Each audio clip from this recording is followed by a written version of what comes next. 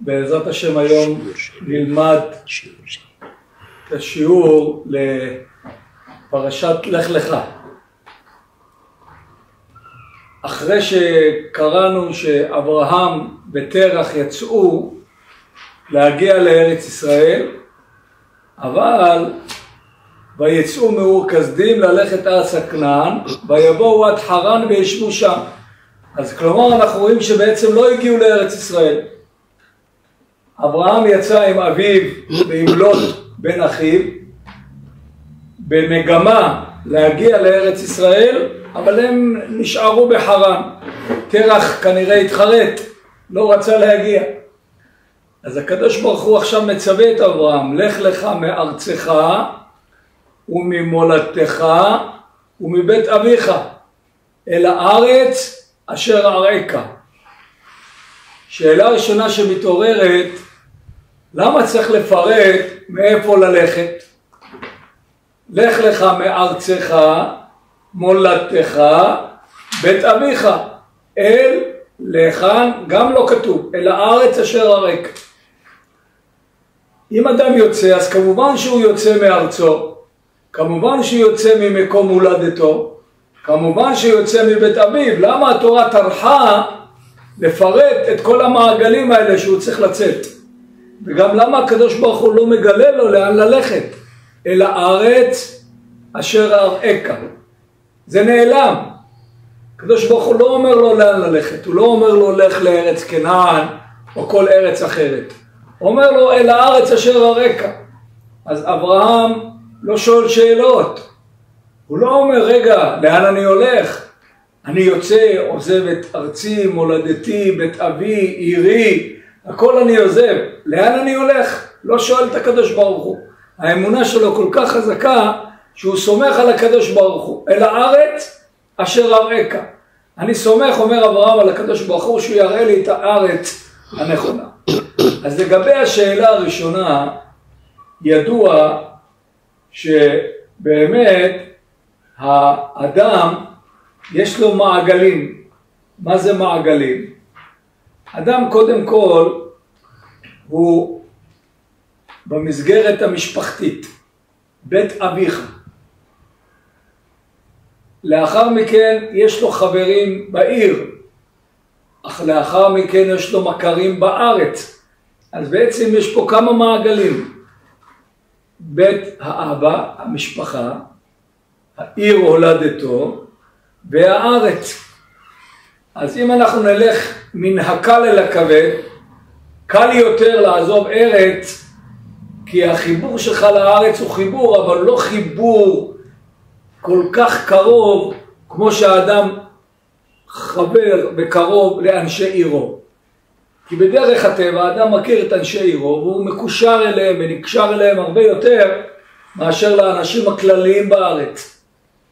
ויתרה מזו, זו הקרבה המשפחתית. בית אבא, המשפחה, זה המעגל הקרוב ביותר של האדם. לעזוב בית אבא, לעזוב משפחה וללכת לארץ בלתי נודעת, זה הקושי הגדול. לכן התורה הלכה מן הקל אל הכבד. הקדוש ברוך הוא אומר לו, תחילה, לך לך מארצך, אחרי כן,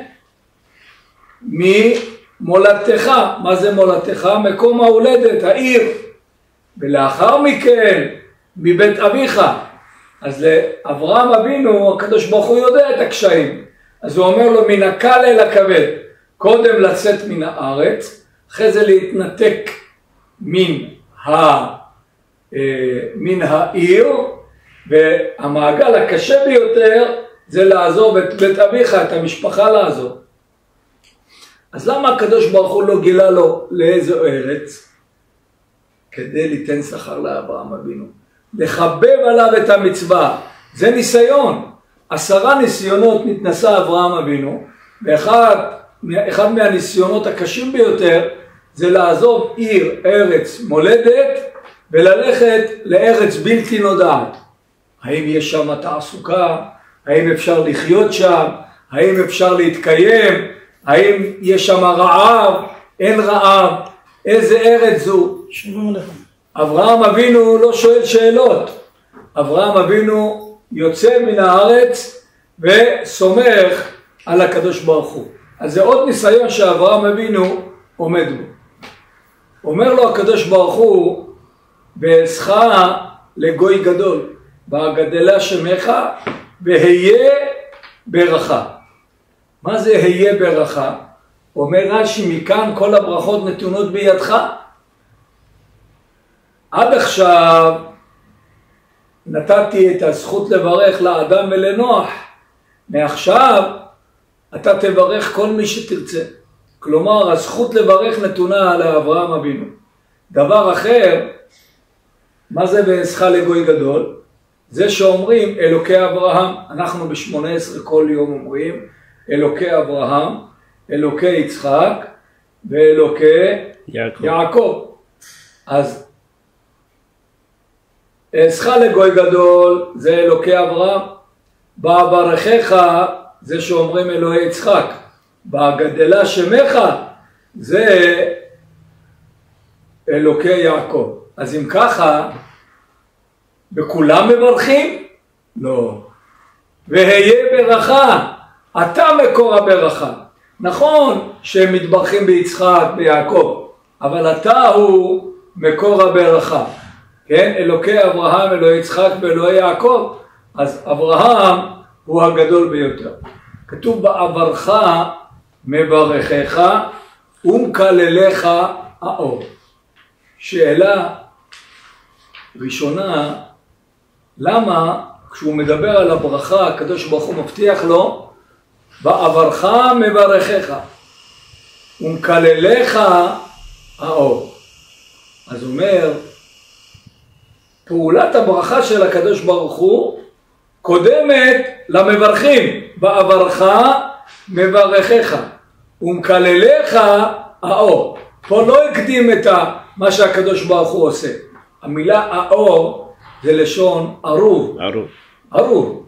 אומר הקדוש ברוך הוא, מי שיקלל אותך, אני מקלל אותו בחזרה.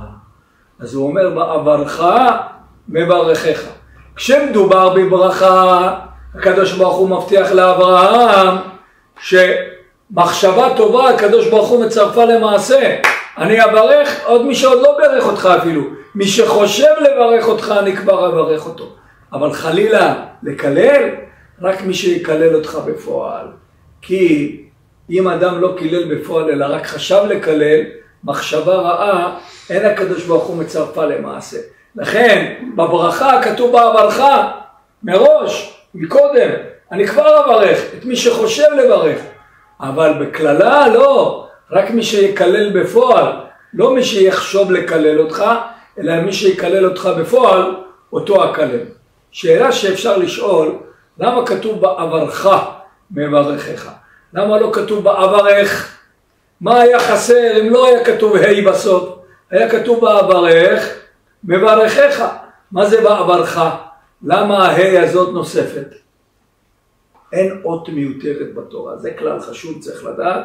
אין, זה לא מקרי שכתוב בעברך מברכך, אלא בא לומר לנו, יש חמישה סוגים של מברכים.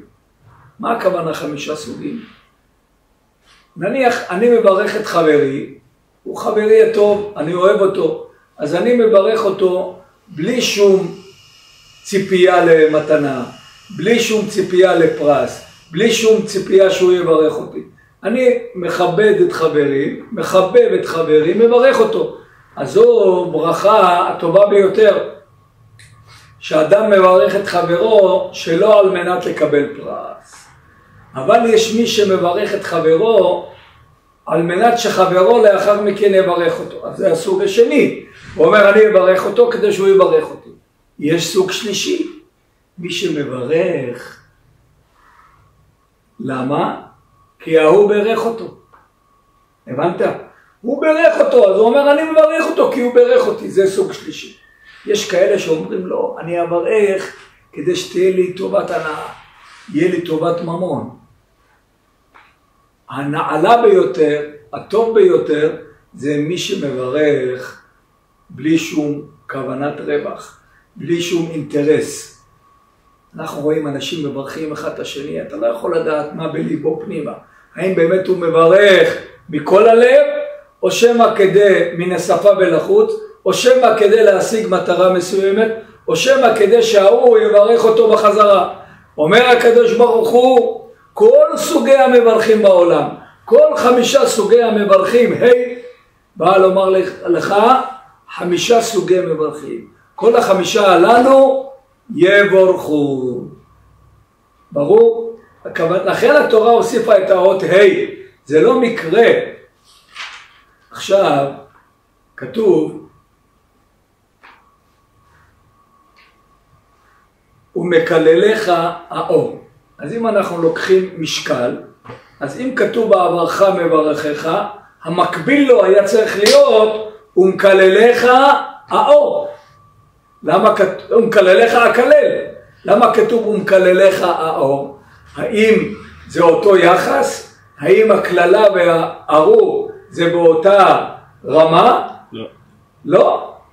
יכול להיות שארור יותר גרוע ממקלל, ויכול להיות שיש באמת שאלה מה יותר חמור, ארור או כמו שאמר אה, בלק לבלעם, לך ערה לי את העם, או לך קבה לי את העם, קבה זה לשון לנקוב, כשאתה חלילה מקלל, נוקב בשמו, זה קללה חמורה.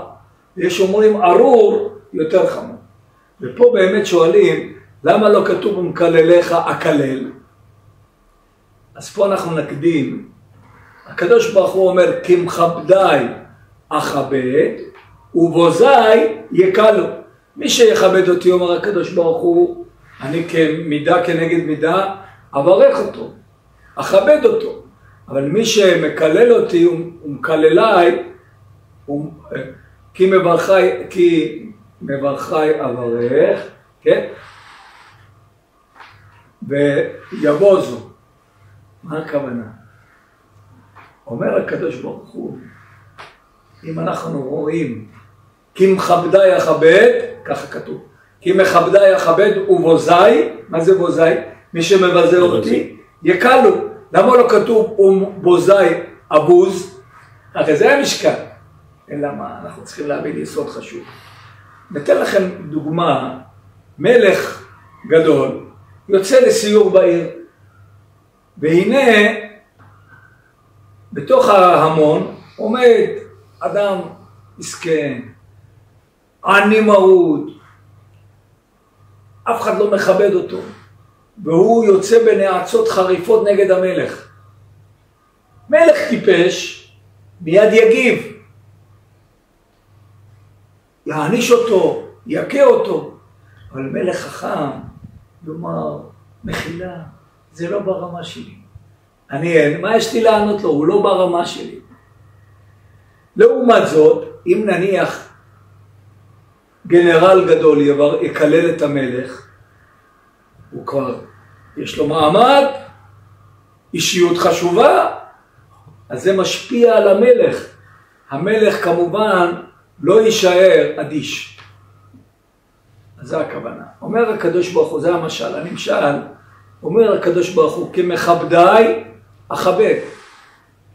אבל ובוזי אני, הם לא, מי שמבזה חס ושלום את הקדוש, הוא לא ברמה של הקדוש ברוך הוא, הקדוש ברוך הוא לא עושה לו מידה כנגד מידה, הוא מבזה אותו, אלא יקלו, אין טעם להתייחס אליו, לחפף אותו, קל ערך, יקלו, אין מה לזה, אז זה כאן הכוונה. אומר הקדוש ברוך הוא, מי שמברך אותך, אברהם אבינו, אני אברך אותו, אבל חלילה מי שמקלל אותך, לא צריך לקלל אותו, האור, פחות חמור מאשר הקלל. טוב, יש... אה,